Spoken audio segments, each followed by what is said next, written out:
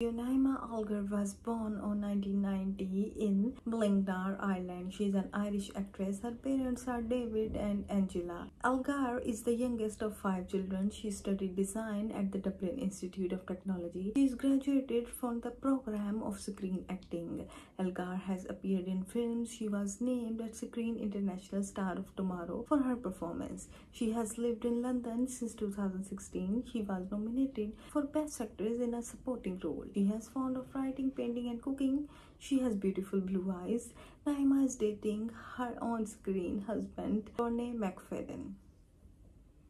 Hello everyone, let's start today's video. Natasha Tonya Henstridge was born on 15 August 1974 in Springdale. She's a Canadian actress. She was born to Henstridge and Brian Henstridge. She was raised in Fort McMurray, Alberta. She grew up with a younger brother. She went to Paris to pursue her modeling ambitions. Henstridge went to do television commercials for products. Henstridge was festival judge at the first annual New Iranian Film Festival.